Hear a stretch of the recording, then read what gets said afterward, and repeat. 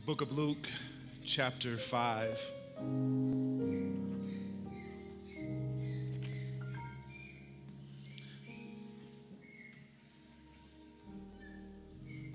We'll be reading from the gospel passage, the good.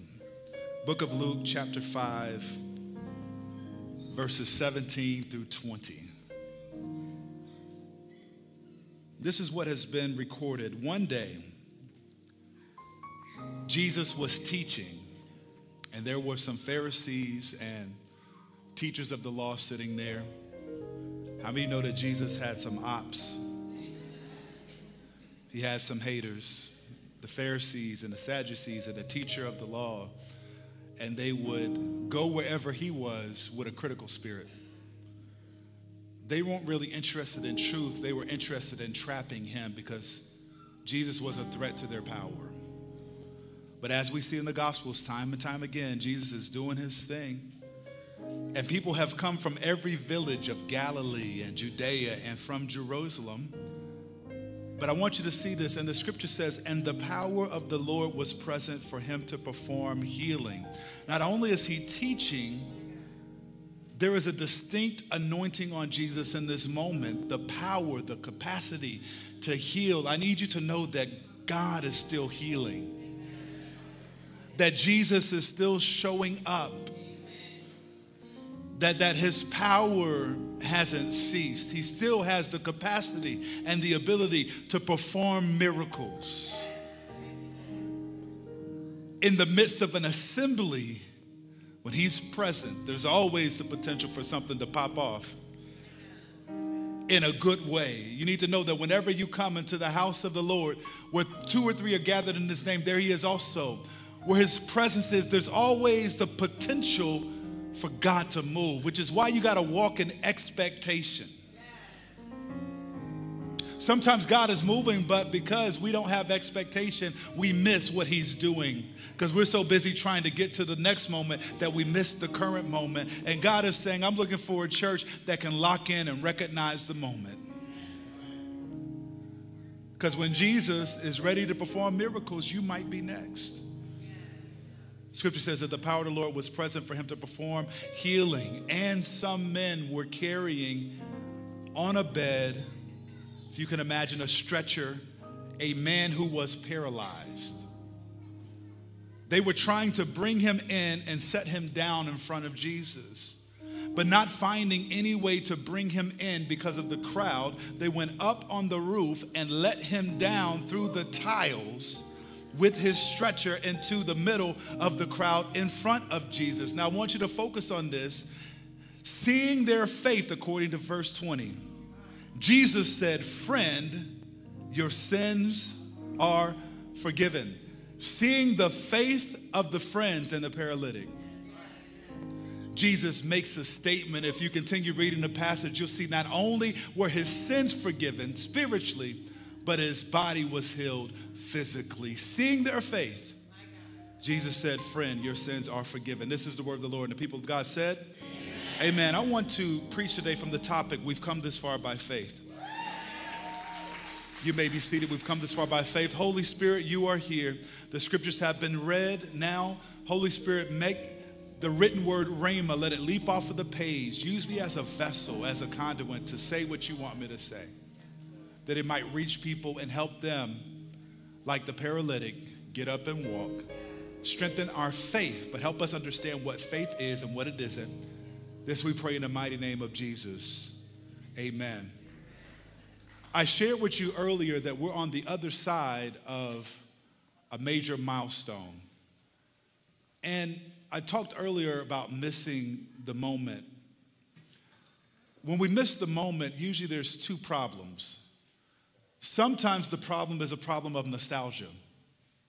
We're so busy reflecting on what was that we can't recognize what is, and we can't muster enough focus to pay attention to what shall be.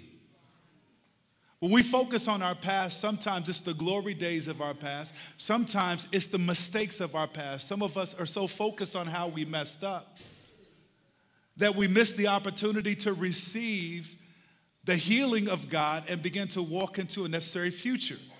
And then some of us are so overwhelmed and anxious about the future. We're so busy thinking about the next thing that we miss the current thing. And when we miss the current thing, we miss our opportunity to be prepared for the next thing. Even now, people are thinking about what they're going to eat after service. Some of y'all are thinking about Thanksgiving right now as I speak. And you're saying, you know what, preacher, I know it's good to be here. Hallelujah. Praise, praise the Lord. The power of God is here, but but I know the lines at the supermarket are gonna be long, and I still haven't gotten my turkey. I haven't got my greens, beans, tomatoes, potatoes, lambs, ram. You, you, you. And the fact that you have to host for Thanksgiving has you preoccupied. And you're thinking about the people, you're thinking about the tablecloths, and you're thinking about how long it's gonna take you to cook your greens, and you need to roast the turkey, all that type of stuff. Be careful, you might miss the moment. So busy thinking about what's gonna happen after service that you miss service. Or for some of us, it's further in the future. You have concerns about what you're gonna, what you're gonna do with your life after 2023 is done. You, you have concerns about what's next. You're in between jobs, you're in between homes, you're in between relationships. You have very real concerns. Some of you are worried about your biological clock ticking. And it's not that you think about this every once in a while, this has consumed you to the point that you can't enjoy the moment. You're thinking about the person that you wish was here that's not here. You think about the person that hasn't arrived yet and when that person is going to come. But God wants to give us an anointing for the now. It's recognizing the now, it's recognizing moments, it's recognizing milestones where we are able to mark what God has done and sense what He's getting ready to do. And I'm here to tell you that the 40 20 weekend was bigger than just celebrating my birthday. It was bigger than just recognizing 20 years of ministry. It is the affirmation that God is in this. It is the affirmation that eight years ago, when, when the bishop had to transition and this new guy came up the ranks, that, that God was in it, that God's hand has been on it, and God's hand will continue to be on it. It was a reminder that the oil is still flowing. It was a reminder that the horn hasn't dried up. The ram's horn is still ready and flowing oil and if the oil flows from the head down and comes down the beard of Aaron, then you've got to understand that as a congregational, as someone who's attending, as someone who is a member, if there's oil in the house, if you stay put, it's flowing to you. It's recognizing that this just wasn't the elevation of Pastor Dexter and Pastor Lindsay. This is the elevation of New Vision International Ministries. And if you're a part of New Vision International Ministries, you were elevated too. The pastoral leadership team was elevated. The elders were elevated. The ordained ministers were elevated. The I am students were elevated. The leaders were elevated. Every volunteer, every hallway host, every sanctuary server, every parking lot attendant, every hospitality team member, every children's church worker, every middle school teacher, every high school leader. If you are in this flow, the elevation is for you too. Tell somebody, I recognize the moment. But it's important to know how we got here. We didn't get here by hook or crook. we didn't get here because everything was easy for us. Institutionally speaking, this church started in the basement of Bishop and Lady Sharon Calhoun with 14 people. There was no building in the very beginning. There was less than a dozen couple of dozen people in one place who just heard from the Lord, and by faith they began to work and to build out something. They had no clue what it would eventually become, but they had a word from the Lord.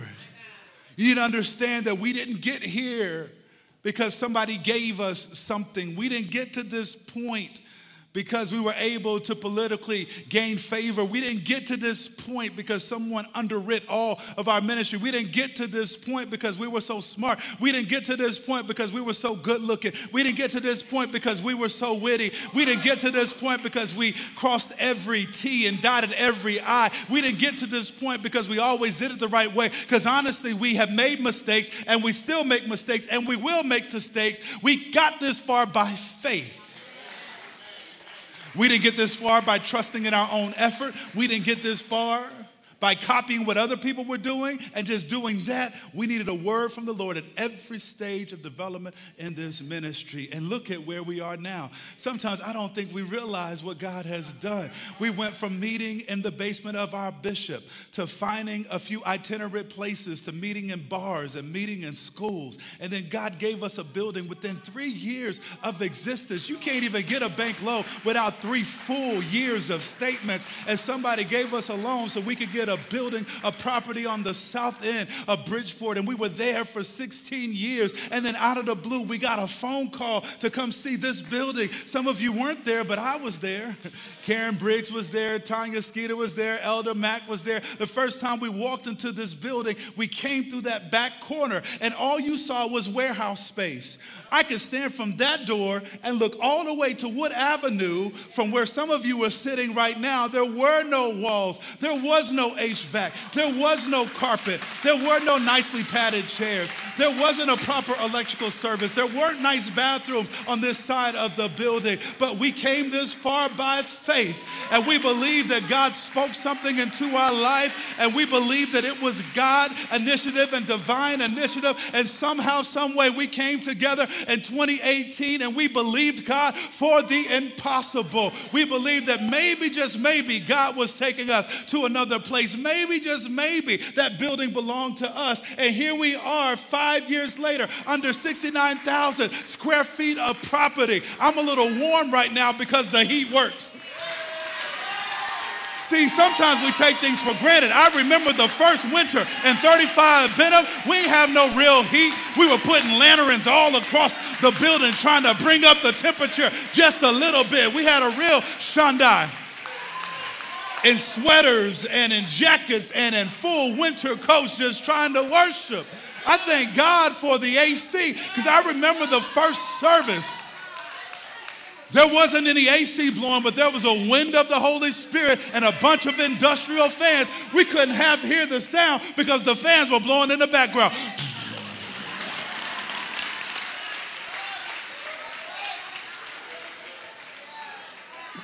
We have no carpet. We were here the night before trying to brush away and mop away all of the construction dust because we were still under construction. We didn't have these nicely padded chairs. We had folding chairs, borrowed folding chairs from tent revivals, and we set them up and we wanted them to look nice. And we would come here before service and we would put 600 wedding chair covers on metal folding chairs.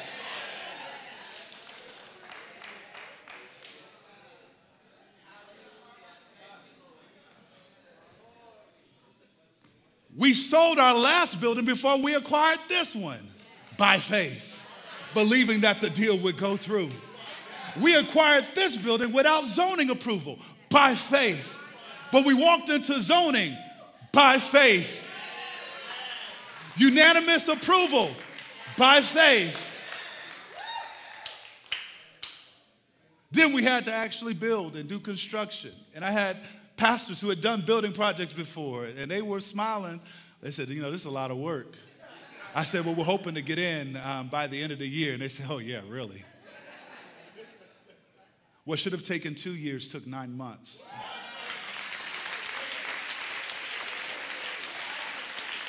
And, and as we progress forward, I need you to be reminded that we've come this far By faith. I know we're not a Baptist church. I know we're not an old Pentecostal church, but every once in a while you got to lean on where you come from. There was a season in my life we used to sing this song, We Come This Far by Faith. And I don't know what it was about that song, but sometimes I would sing it and tears would come to my eye because I began to understand legacy. I began to understand that people paved the way before me. I began to understand that it's not by might, not by power, but by his spirit, says the Lord. We've come this far by faith. And I'm here to tell you, New Vision, wherever we're going, we got to get there by faith. Whatever we are stepping into next, this next season, we can't get here by faith and then neglect faith to get to the next place in God. No, we've got to strengthen our faith. We've got to come back to Jesus. We've got to get back to the altar because before we had an altar, we had an altar. Before we had a building, we were able to put our faith to the ground wherever we were and wherever we were standing was holy ground. We made the tabernacle a place of praise because people came in before service and prayed and cried and put oil over the floor so that when people came, they would feel the power and the presence of God. The crazy thing is, you can have a building and not have anybody praying for it, that we can rest on our laurels. But I'm here to tell you if we want to go to the next level, if we want to get to the next thing, we got to get some of that power pioneering spirit back. Whatever we have is because God gave it to us. And if we want more, we've got to get back to that gritty place where we put our face on the carpet, where we put our face on the altar and we say, God, we want to be a part of whatever's next, but we're going to get there by faith. We're not going to get there by flesh. We're not going to get there through manipulation. We're not going to get there because we think we're so smart and so brilliant. We're going to get there by faith. Somebody say, We've come this far by faith, and we're going to get there by faith. But here's the million dollar question What is faith? That's the question. What is faith? Because people have a lot of opinions about faith. There are entire denominations that center on the concept of now faith. There are places and preachers who put an overemphasis on faith. We live in a culture that embraces faith even though they don't call it that. So the question is, what is faith? Definition of faith is strong confidence in and reliance upon someone or something. You know what I've noticed about today's culture? Everybody has faith for something, but not enough people have faith in someone. See, when people have faith for something, they fix their eyes on what they want. They fix their eyes on what their desires are. They fix their eyes on what they think they should have. And I want you to be careful because this manifestation stuff is going to get some of y'all in trouble. Oh, let me go talk over here. I'm, I'm speaking to those of us who are getting caught up in new age spirituality and you're frustrated because what you feel like Jesus should have provided, he hasn't provided yet. So you say, I'm gonna go find it somewhere else. I'm gonna go find my own path. I'm gonna burn a little sage. I'm gonna do a little ritual. I'm gonna write things over and over again until it comes because my favorite YouTube influencer or my favorite Instagram influencer told me that that's how you get what you want. Be careful that you don't find yourself in witchcraft. Manifestation True manifestation comes from the only one who can manifest. In the beginning, God created the heavens and the earth. The earth was without void. There was a creator who stood outside of time, space, and matter, spoke the world into existence. Why would I pray to the universe? When I serve Yahweh, who's greater than the universe, He stands outside of space, time, and matter. Why would I pray to something impersonal? When the scripture reveals that I can have a personal relationship with the creator of the universe. God's not somewhere over the rainbow. He's here, he's near, he's now. Although he could sequester himself in heaven, he shows up when I pray to him. He speaks to me. And according to the scripture, the veil was ripped when Jesus gave up the ghost, and now we can enter into the holies of holies. He's made a way for us to have a connection and a relationship with him. You need to know that God is personal God in three persons, blessed Trinity, God the Father, God the Son, God the Holy Spirit, three in one. It's a mystery how they cooperate to make the Godhead, but I need you to understand that we serve a God who is a person. So we don't have faith for stuff apart from faith in a person. See, the definition says that we have strong confidence in and reliance upon someone or something. Everybody has faith in something. The question is, where's your faith? See, when you walked into this sanctuary, you didn't do a five point inspection of the seats that you're sitting in. You sat in that seat by faith. You had faith that that seat could hold your blessed assurance. You, you sat down with confidence in the seat. You put faith in that seat. People put faith in all types of things, but anything that's man made can fail. Any person that can be elevated can betray you. Any person that has to be relied upon in the earth can fall short, but there's one who never fails. There's one who is all perfect, all knowing, all powerful, and according to the scriptures, we place our faith in him. So your faith should be in God and not in people. Your faith should be in the Father rather than just having faith for stuff. And for some of us, that's the disconnect. We've been so focused on trying to have faith for stuff that we've missed the primary responsibility is to have faith in God. And we're trying to get the stuff apart from the God who is able to provide the stuff.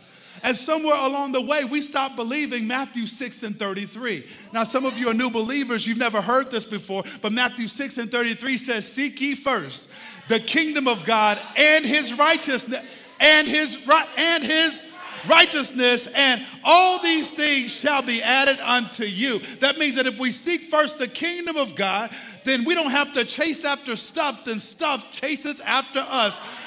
I'm talking about whatever you need. Because if you read the scripture a little bit earlier, it says, Don't you worry about what you're going to eat or what you're going to drink because your heavenly Father knows what you need. We spoke last week to that orphan spirit. You need to know that you have a daddy that's in heaven, you have a father that's in heaven. He knows exactly what you need, He knows exactly when you need it. You don't have to run around here dazed and confused because as long as you know your Father, He knows what you have need of. And to trust Him is to trust His hand. But you've got to learn how to seek His face. If you get His face, you'll get His hand. Tell somebody, don't worry about what you're going to eat or what you're going to drink. For your heavenly Father knows what you need, when you need it, how you need it. He knows when it's going to come, how it's going to come. Tell somebody, just chill. Tell somebody, stop stressing. Stop worrying. It ain't going to add a dollar to your bank account. It ain't gonna add an inch to your height. It's not gonna remove the gray hairs in your head. It's not gonna make your waist get any smaller. The worry's not gonna help you. The only one that can help you is God Himself. Tell somebody, I don't have faith for stuff. I got faith in God. Because if the stuff doesn't come, as long as I've got King Jesus, as long as I've got a relationship with the Lord, as long as I've got a connection with the Father. As long as I've been redeemed by the Son, as long as the Holy Spirit lives inside of me, I'm going to be all right. Tell somebody my faith is in Jesus. Which brings us to our passage for today. This brings us to the text. Because in this moment, we see the faith of five guys. I'm not talking about that restaurant. I'm not talking about the restaurant with the big burgers. I get a little bacon cheeseburger because the big cheeseburger too big. I get the small fries because the large fries enough to feed a family of five. We see the faith of five guys. How do we know it's five guys? Because in this particular passage of scripture, we see it across the gospels. And according to the scripture, there were five men one paralytic, and four friends. Now, to be paralyzed means that you can't move. You can't get around on your own. You are immobile. You can't walk. You have to rely on other people to get you from one place to the next. And so, can you just walk with me for just a moment to, to dig deeper in the text and to, to put ourselves in the same position as these men? They heard about Jesus. And this man had been paralyzed. The scripture doesn't say how long. But it seems like they were together and they decided to put together a plan. They said, you know what? Here's what we're going to do. We're going to get to Jesus. I heard about this man named Jesus. Now, Jesus and his works were getting buzz all across the land. This is before Twitter. I'm sorry, X. This is before Instagram or Facebook or a 24 hour news cycle people would talk about what was happening in the land, and Jesus was the talk of the town. And everywhere he went, Jesus drew haters, but then he also drew people who were on the fence. And I need you to understand something about serving God, serving the Father. Sometimes we're so obsessed with the people that don't like us.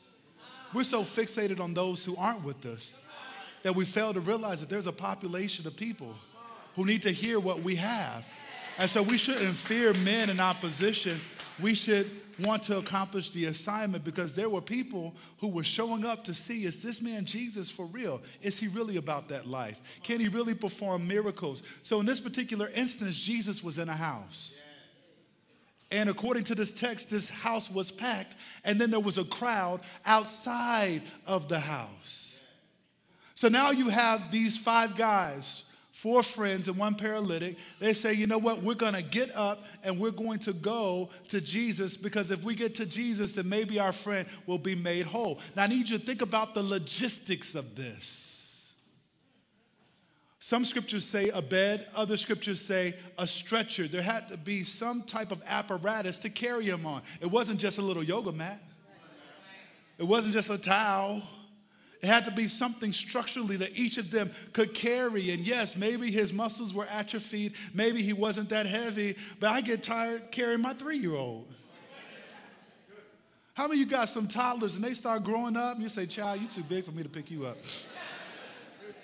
You start strategically putting them down. You start strategically telling them, you're going to have to walk for yourself. Come on, walk up the stairs. Come on, I'll grab your hand. But this man could not walk for himself. So his friends said, This is what we're gonna do. We're gonna pick you up. We're gonna put you on this stretcher and we're gonna carry you to Jesus. Now, for there to be a crowd that was so big that they couldn't get to Jesus, just think about all of the people.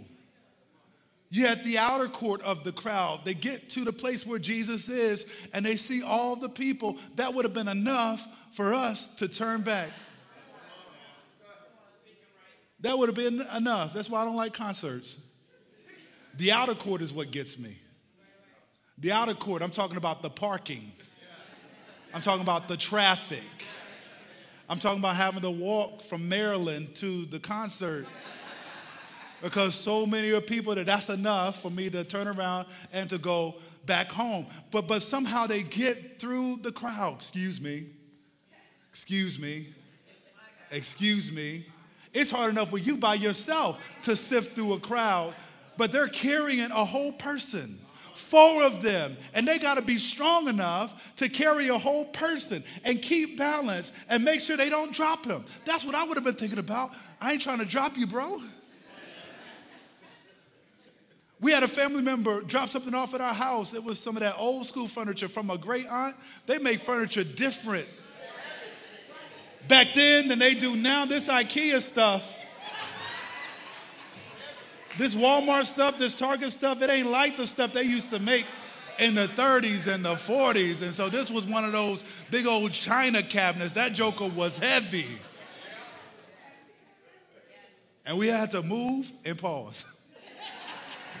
Anybody know what I'm talking about? Move. All right, hold on a second, hold on a second, hold on a second. Hold on a second. Whoa, this thing heavy. All right, you good, you good. Pick up again, move and pause. Then we had to get in the door. We had to go up the stairs. Then we had to get between the door and the foyer. So now I got to back up. Okay, wait, wait, wait, wait, wait. Turn, turn, turn. All the logistics just to move something that's heavy. Imagine having to navigate bringing a whole person through a crowd in a place you've never been before to see someone you've never seen before. So somehow they're carrying him and they negotiate through the crowd and they get to the house but how many of you know a crowd outside of the house is different than a crowd inside of the house? Because now we got to get into a door. Now we got to get past the kitchen. Now we get past here and there to get to the living room where Jesus is. Too many turns, too many nooks, too many crannies. And plus, once people are inside, they ain't moving. Just like when you get your good seat, you ain't moving. You get your good parking spot, you ain't moving. I earned this parking spot. I ain't moving. You don't know what I had to get through to get to this particular point. You don't know how early I showed up to get this good seat because I want to see Jesus too. It went from the outer court to the inner court. Now they're standing at the door of the house. I don't know if it was the back porch or the front porch, but most of us would have given up. Say, hey man, we did, a, we did the best we could. You're gonna have to lean your ear in to hear Jesus. Can you hear him? Shh. Maybe we get eyesight with them. That's what most of us would have done. But, but these brothers were persistent. One of them said, Hey, why don't we do this? If we could get you up on the roof. So they have the boldness to pick this man up on somebody else's roof. Get him to the place where Jesus was. Track the voice of Jesus. Remove the tiles in the middle of the gathering. Somehow, some way, get one person down, another person down. All right, you down there. We're sending him down. In the middle of this gathering, all protocol is broken now, and you see a whole person descending through a hole in a roof. And Jesus looks at them, seeing their faith. See, sometimes faith will cause you to break protocol. they may not have been dressed right, they, they may not have understood the order of worship, but, but, but, but there's faith there.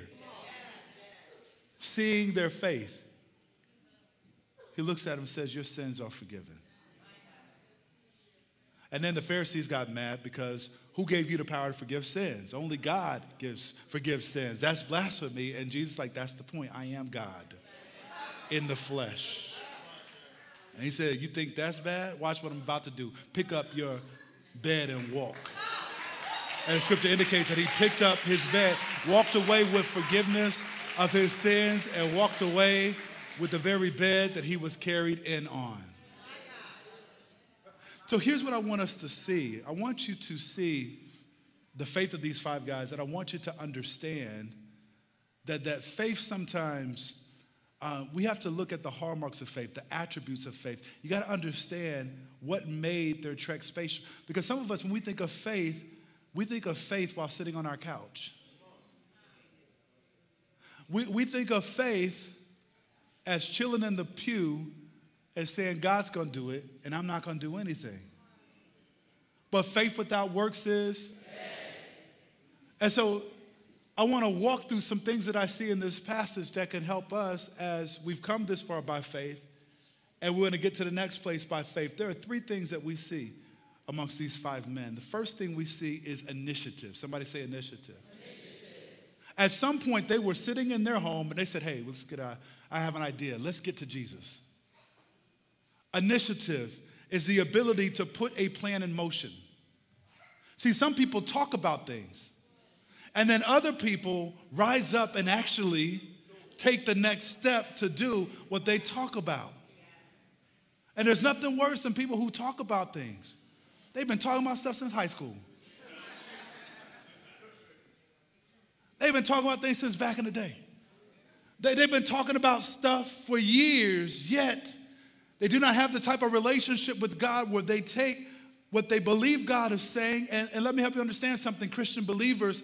This is about divine initiative. This is about hearing from God and getting the sense of, okay, God wants me to head in this particular direction and the willingness to now take steps based on what you believe God is saying. They took initiative, they put a plan in motion, they put their shoes on or their sandals.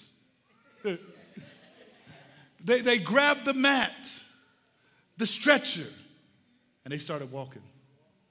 Somebody say initiative. initiative. They refused to accept their current situation. And that's where some of us are. We've been, listen to me, in the spirit realm, paralyzed for so long. We are utilizing our, our, our paralysis as an excuse not to accomplish anything. See, either you see yourself as victim or victor. Either you see yourself as someone whom God can use, or you see yourself as someone whom God has discarded. And so they got together and they said, you know what? Our situation has got to change. So we are going to get up. We're going to get mobile. Watch this. I don't know if this plan is going to work, but we're going to do something that's headed towards what we believe God is capable of doing. Somebody say initiative. Somebody say initiative. At this season of ministry, we need to have initiative. If you're a leader in this ministry, there's a point where you've got to be a self starter. You've got to be the type of person that says, okay, I've heard what God is saying. Now let me begin to put plans based on what God said and take the necessary actions to move from here to there. Watch this. His legs weren't working, but he was still mobile.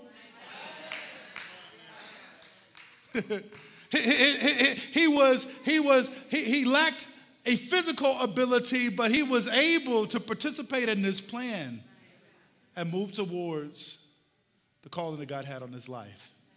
Recorded in scripture, we're talking about him now, thousands of years later, because he took initiative.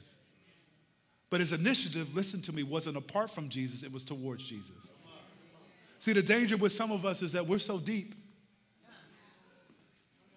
Hardest thing to do is to argue with someone who said, God said.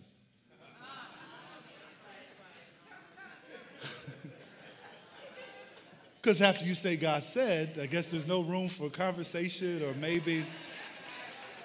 I know there's safety in the multitude of counsel and and every, sometimes saints, people of God, are you sure God said or was it your ambition?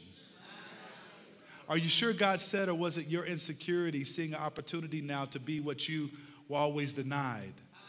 Is God speaking or, or are you just trying to rebound from this previous season where things didn't seem like they were working? See, we believe in divine initiative. We move when God says move, just like that. But if He ain't say move, we're going to stay right where He told us to stay. So, this initiative is towards Jesus. And, and when we get caught up in the way the world works, sometimes we take initiative away from Jesus. Listen to me your dream should not take you away from a thriving relationship with the Lord.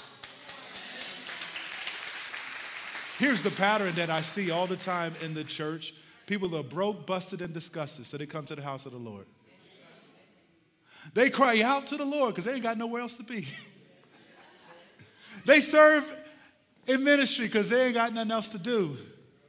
With the prayer and the hope that somehow God would hear their prayers and answer their prayers and do something in their life. And then when God shows up, when God blesses them, they're like, thank you, see you later. And they forget that there was something deep and abide. See, if it's a dream and it takes me away from the dream giver, then it's not really a dream, it's a nightmare.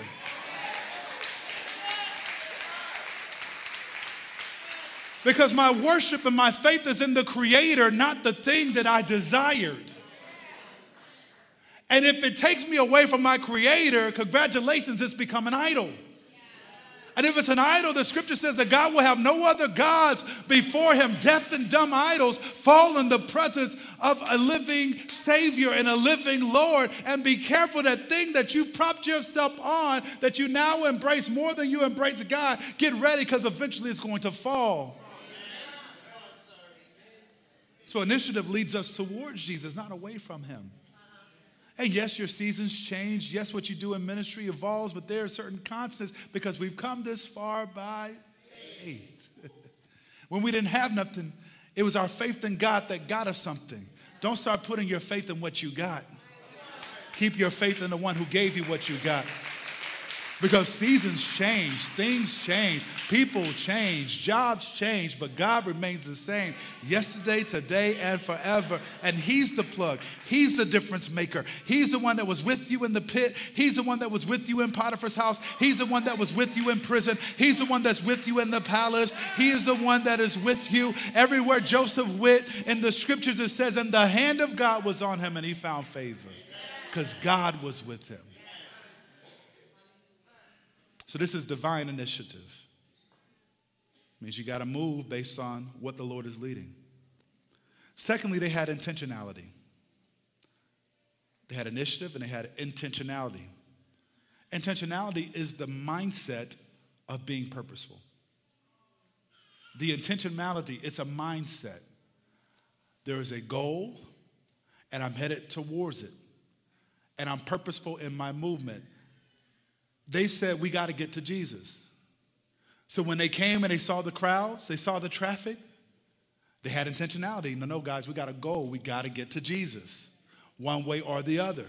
So plan A didn't work, so they picked up plan B. Plan B didn't work, so they picked up plan C. Plan C didn't work. They found a way because they had intentionality. They had purpose in their heart that they were going to do what was placed on their heart to do, and they did it. They were persistent. Too many of us give up too quickly when it's something clearly that God has told us to do. You got to be persistent in this hour. You got to have intentionality. Listen, I want to live my life where everything is intentional. Every relationship is intentional. Every connection is intentional. Every hour I spend, every day that I breathe, I've got more hopefully ahead of me than behind me, but no one knows the day nor the hour. So all I have is now. How intentional are you with now? How purposeful are you with now? Does it take a little bit of trouble to cause you to abort your purpose and your plan? Are you willing to move past and to see that maybe because what's on the other side is so great, that's the reason why I'm having so much opposition? No pain no gain. Sometimes the best things in life or the things that you had to press towards, the things that you had to pursue, the things that you had to be intentional about. When I locked in to pursuing my wife, I was intentional. She wasn't feeling it, but I know what God said. So I had intentionality. I had the mindset of being purposeful because I know what God said. And if God said that she's for me, then I'm just going to wait. I'm going to do whatever I need to do to follow the voice of what God said. Intentionality. You can't give up when it seems like things aren't going well. You can't give up when the path doesn't seem easy. You can't give up just because there are some obstacles in this new place that God has taken us. Remember, there are still lions, bears, and giants, but giants still are falling.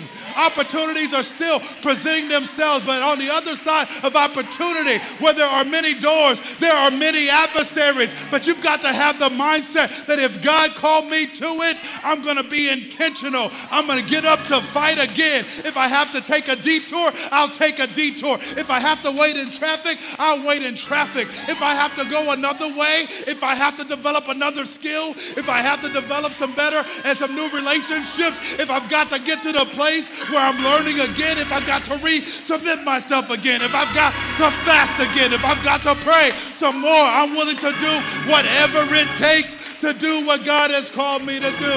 High five somebody and tell them I want to be intentional.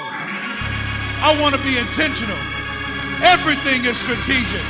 Every person is strategic. Every relationship is strategic. Every task is strategic. Every responsibility is strategic. If you're working in the parking lot, it's strategic.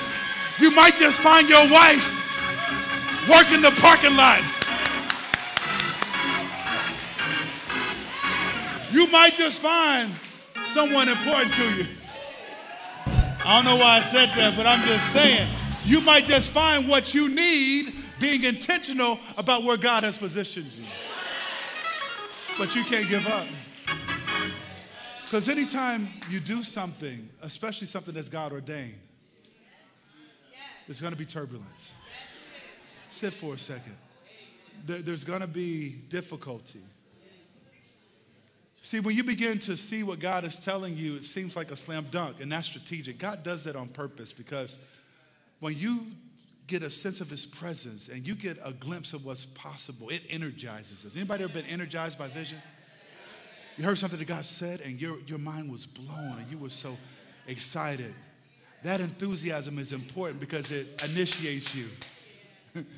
but then you get to step two or step three, you realize it's not going to be as easy. it's not going to be as easy as I thought. And that's where most of us give up. But intentionality says, I have a purpose. There's something I must do. And so if there's a crowd, we'll get past the crowd. If there's a house, we'll get up to the roof. If there's a roof, we'll remove the tiles in the roof.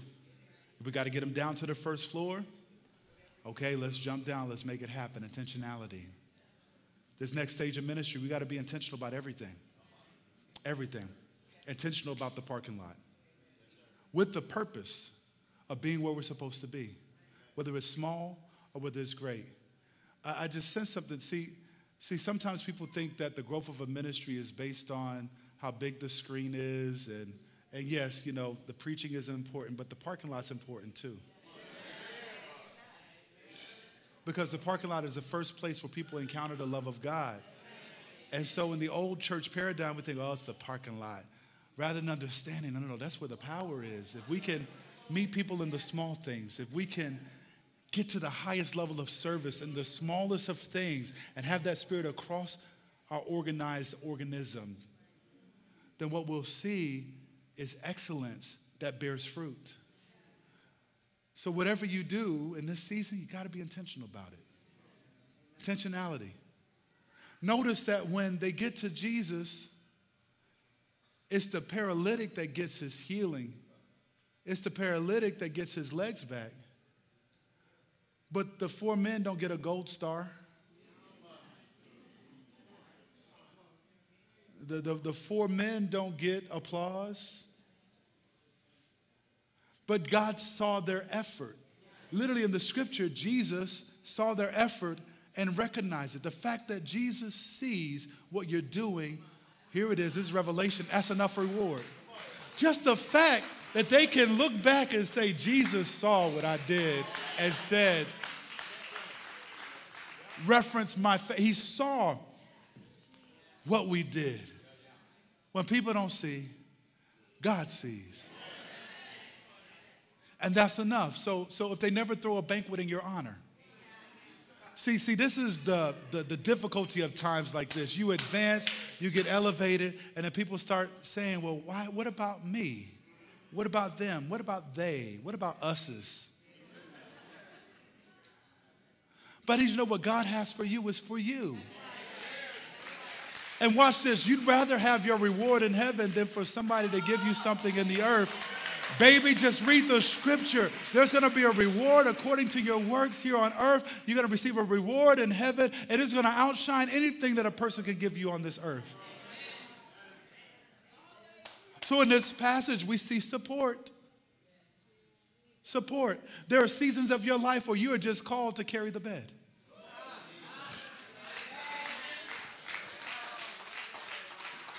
There are seasons in your life where you are called to be a support system, where you're not the main character. And that's okay because God sees your faith.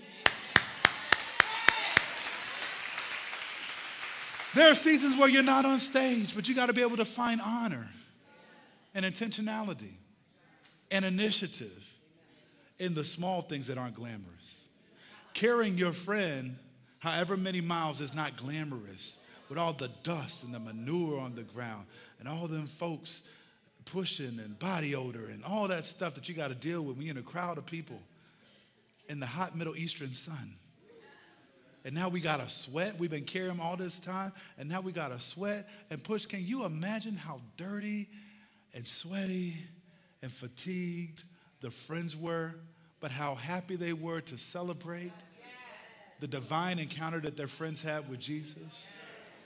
What type of support network are you in this season? What type of friend are you in this season? Are you willing to go the extra mile? Watch this with no direct benefit for yourself apart from just saying, I'm doing what God told me to do. Intentionality. Some of us just, just need to intend to be a better friend. Because some of us were reading that passage and said, that couldn't have been me. I love my friends, but child, all that walking and all them crowds and intentionality and everything. So they had initiative, they had intentionality. The third thing they had was ingenuity. Because they got to the house, there was no clear path, and someone said, Hey, this may sound crazy. Hear me out. Hear me out. What if we lifted him up to the roof? Y'all still with me? And Once we got him to the roof, we found a spot where we could open up the tiles and then we drop him in. Nobody had ever done that before. In scripture, I see no other place where they open up a roof to get someone to Jesus. Ingenuity. Ingenuity is the quality of being resourceful, where you don't give up because there's not an apparent way in front of you. But you say, you know what? Where there's a will, there's a way. And if God said it, I'm going to find a way to accomplish the task. If that means I have to change my plans, if that means I have to be flexible, if that means I have to learn a new skill, if that means I have to do something different that I've never done before, if that means that I have to try something that I've never tried before, I'm willing to be resourceful. Ingenuity is what we need. We need the ability to stretch our thinking and to do some things that we haven't done before. And this new season, we're going to do some things we've never done before. We're going to go someplace we've never gone before. We're going to take the old processes and we're going to breathe life into it because you can't put new wine into old wineskins. So you need a new wineskin for the new wine, which means there's going to be certain things that are totally new. We ain't never done it before. But we need to step into the realm of ingenuity, innovation, ingenuity. We can't get in this way? No problem. We'll go up.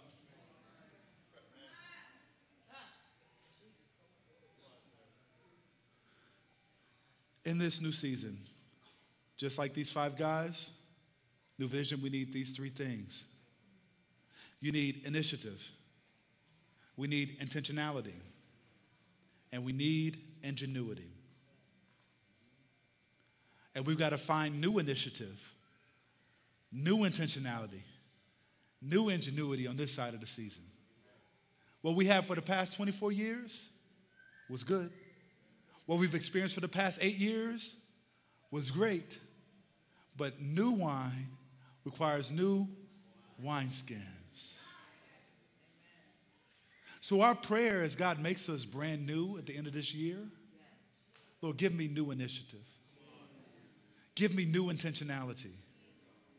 Give me new ingenuity. We do what we can, then God does the miraculous. They got as far as they could go. They exhausted every bit of energy, creativity to accomplish the goal. They got their friends to Jesus. And then Jesus looks at them in response to their faith and gives their buddy what only he could give the healing of his body, but don't miss the forgiveness of his sins. Because that new body that he received, he would have to die again. He could walk now, but one day he was going to have to transition from life to death, but what he really got was eternal life. See, all the things that we quote unquote have faith for in the earth are going to pass away. All the things that we long for, the achievements that we fight so hard for. Every achievement that you pursue now, whether it's in the marketplace or in your career, I hope you know that one day somebody's going to have your job. Either you're going to retire, you're to do something else. I need you to know that any earthly pursuit, any house that we can pursue, any car that we want so bad, any pair of shoes, any piece of jewelry, any American dream that we're fixated on, all those things will pass away. But our relationship with Jesus will literally stand the test of time. And only what we do that's built on the solid rock and the precious metals, if it's built on sand, it's going to wash away. But if it's on a firm foundation, the winds may blow, the rains may fall, but that house will stand if it's precious metals and precious stones, the fire will come. It'll burn away all the dross. It'll burn away all of the straw. It'll burn away all of the organic stuff. But that which was true will hold through the fire. And you know what people begin to say? You had the Pharisees hating in the crowd. But then there was a buzz amongst the people. Did y'all see what Jesus did? Did you see what happened to that man? He was paralyzed and now he's walking. And what they began to say amongst themselves? Pastor Tanya, we have seen remarkable things. We have seen remarkable things. Remarkable things, an event or an occurrence that is beyond one's belief or understanding. We've seen something that is beyond the possible. And they begin to talk amongst themselves and they begin to glorify God because they have witnessed something remarkable. Do you believe that God is not done doing remarkable things? Do you believe that the same God who healed the paralytic man is the same God who can heal today? Do you believe that the same Jesus who healed the man, according to the scriptures, was crucified? But a remarkable thing happened on the third day. He had a bodily resurrection with all power in his hands. That was remarkable, something they'd never seen before. And according to the scripture, he's sitting on the right hand of the Father making intercession for us. But I'm here to tell you that I still believe in the God of miracles. I believe in the God that's still moving his people.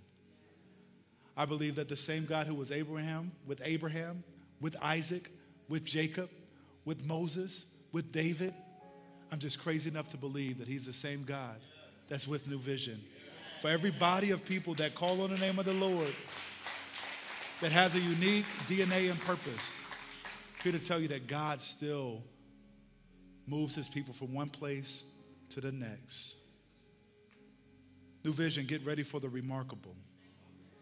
Let me prophesy this eyes haven't seen, ears haven't heard, nor have it entered to the heart of man. If you think this is all that God can do, you got another thing coming because God is always able to do exceedingly and abundantly above all we can ask or think. So, this is the season where we need to start asking different things. We need to start asking for different things. And listen, I'm not just talking about stuff, I'm talking about souls. We need to ask for souls to be saved, we need to ask for the harvest to come. We need to ask for those who are hurting and broken to know that there is a man who healed the paralytic and there is a man that can heal them. We need to ask for the broken places to be restored. We need to ask for the compassion and the love of God to flow into places where people are hurting, that light would pervade and overcome darkness. When you start asking God for those type of things and seeking first his kingdom and his righteousness, an expanded building is nothing when you seek his heart. More money and resources is nothing to him when you seek first his face. Seek his face. Then you'll receive his hand. Are you willing to seek him again? Are you willing to come to Jesus again? Are you willing to press to get as close to Jesus as you can physically or spiritually get in order to position yourself for the remarkable? If you could please stand in this moment. We've come this far by faith. Christ is my firm foundation, the rock on which I stand. When everything around me is shaking, I've never been more glad that I put my faith, not for stuff, I put my faith in Jesus. Stuff will let you down. Jobs are great at the beginning. I've had employers let me down. But Jesus has never let me down. He's faithful from generation. So why would he fail now? He won't. So right now, as you lift your hands, this one was gonna it's gonna happen very quickly.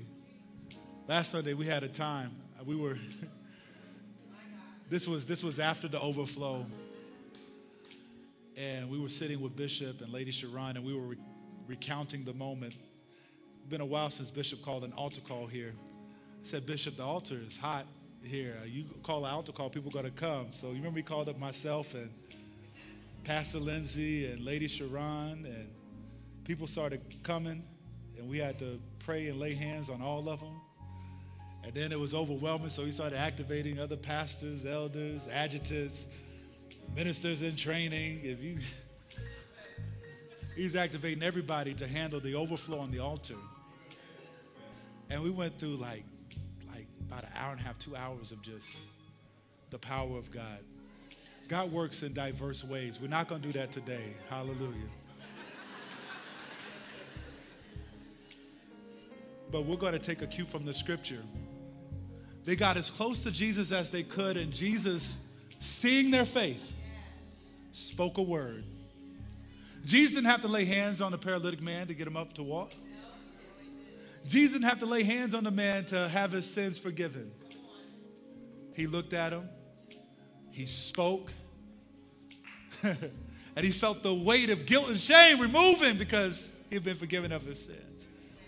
Jesus spoke again, and all of a sudden, I got feeling in my legs. And he did something he hadn't done. I don't know if he was born paralytic or if he had just been paralyzed for a season in his life. He did something. He walked and his legs worked because Jesus saw his faith and spoke. Somehow he spoke to his soul and he spoke to the natural realm. He spoke to the molecules within his body at the cellular level. Somehow muscles that have been atrophied for years strengthened instantaneously. Something happened within his body where he could now walk. He saw their faith. So as we sing this song, we're going to sing a verse of it. And then we're going to look forward to a remarkable thing. And God's going to do something in this moment very quickly. Your level of expectation is important to this moment. But what is our faith? Our faith is not for something. Our faith is in Jesus. So if we reestablish our faith in Jesus, then healing is a small thing. And even if our healing doesn't come today, if our faith in Jesus is restored, we hit the jackpot. Because what we need is Him. More than I need lack of pain in my back, I need Him. More than I need another dollar or another paycheck, I need Him. If I get Him, I've got everything I need. Come on, lift your hands.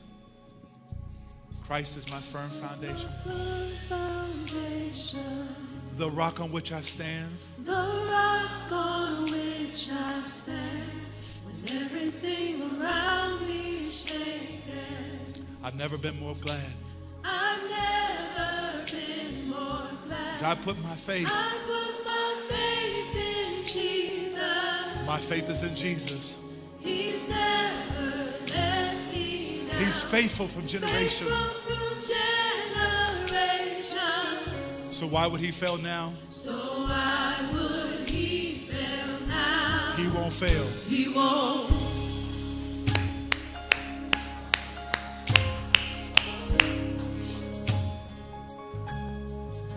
Still got joy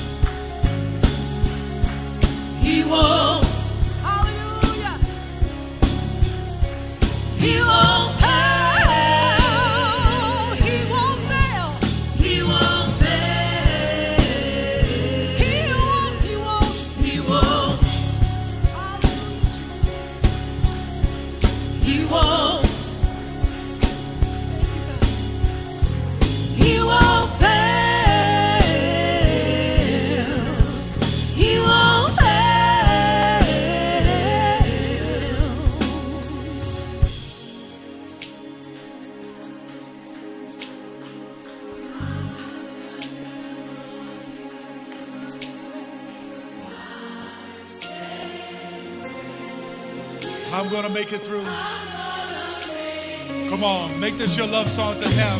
Rain came, wind blew, but my house, My house was built on you. I'm safe with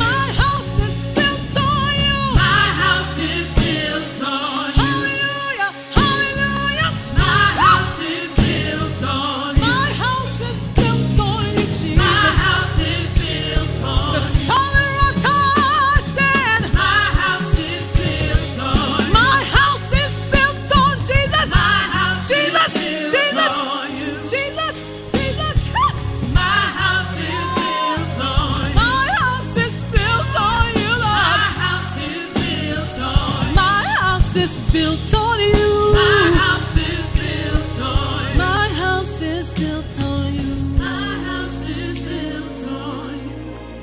Yeah. faith come by hearing, hearing by the word of the Lord. Faith is the substance of things hoped for, the evidence of things not seen. For years, there was a longing for Messiah to arrive. Jesus came, fulfilled that role, conquered death in the grave. He is our reward. I want you now, spiritually speaking, to lock eyes with Jesus. According to what you need, press to make a connection with Him right now. If there be any faith in you, He sees that faith. He sees that faith. He knows what you need. Be reminded that you have a Father in heaven who knows what you need. Even as you express your need before Him, just bask in the fact that you have a direct line to Him. Just embrace the reality that you're in relationship with Him. And if you're not in relationship with Him, I want to let you know that Jesus wants relationship with you. Jesus is still saving souls. You confess with your mouth and believe in your heart the Lord Jesus, that the Father raised him from the dead, you shall be saved. Salvation is still coming to those who desire it. But like the four men with the paralytic, you got to be willing to press past the crowd to go to where he is. But once you get to him, not only can physical things happen through his power, he's well capable and able, but he has the ability to forgive sins. He has the ability to secure your eternal faith. So, Father, we come before you recognizing the authority that Jesus has, recognizing that you can save by many, you can save by few, recognizing that you can distribute your power through the laying on of hands, and then you can use a voice in a moment. Father, I declare healing for those who need it. According to their faith in you, Father, would you attend to their needs? You know what's happening in their body physically. You know what their financial need is. You know what struggles they're dealing with and wrestling with. Father, may our faith in you be strengthened regardless of what comes next. We want to stand here and affirm our commitment to you once again, affirm our love for you once again, affirm that we are standing on the firm foundation again, and to acknowledge that you are our only hope. And we reaffirm and reconfirm our hope and commitment in you today. Father, remarkable things are coming. Your Holy Spirit is still doing remarkable things, so we continue to follow the work of the Holy Spirit in this house, New Vision, and in our lives personally. Father, we want to see your glory revealed, and so we are willing to go. We're willing to take initiative. We're willing to walk in intentionality. We are willing, Father God, to practice ingenuity. And we'll do all that we can, believing that there are certain things that only you can do because you're able. Hallelujah. So, wind of Holy Spirit, meet people in the place of their need, supply them where there's lack, empower them where they feel disempowered, speak to them where they feel like they can't hear you. Give them the energy they need where they feel fatigued. And Father, may you continue to guide this movement. Take us where we need to go. In the mighty name of Jesus, we pray. Amen. Listen to me. We're going to release the benediction. But if we could have some of our PLT members and our intercessors just available at the altar, if you just need someone to pray after the benediction, or you want to give your life to Jesus, we need to develop that practice and that habit of being ready to minister to people beyond the moment, beyond the benediction. Ordained ministers as well. Um, if you are in this crowd and you need an additional touch, you need a conversation, you need prayer, we've got people. Y'all come on, step up, elder. We've got PLT members, We've got intercessors, We've got ministers. They're here. If you need that touch, you need that prayer, they're here. Y'all got that? Y'all got that? Y'all still with me? Benediction is coming. We have some friends here today from the city. Uh, we have our mayor, Mayor Ganim, is here. Thank you for joining us. Co-labor in the gospel, Reverend Stallworth. Thank you guys for joining us today. Thank you for joining us. Um, they had many places they had to go today, um, and they're going to be here you know, in the lobby and the atrium. Food court is still open. All that stuff is open. Uh, they would love to get to meet many of you. Um, let us pray. Father, we thank you for all that you have done. We even thank you for the ministry that's beginning at the altar. We thank you, Father, for your power and your ability. We thank you that our trust is in you, our faith is in you, Father. Our faith is in you, Jesus. And we walk out of here filled with faith. We've come this far by faith. And we'll get to the next place by faith. Father, I release a blessing over this congregation. May they walk in the confidence, not of themselves, but the confidence of who you are. And thank God for what you're going to do in their life. Remarkable things are coming. Thank you, God, for the remarkable things that you are doing. May your peace rest upon them, your grace and your peace. And may we continue to become all that you called us to be. In the mighty name of Jesus, we pray. Amen.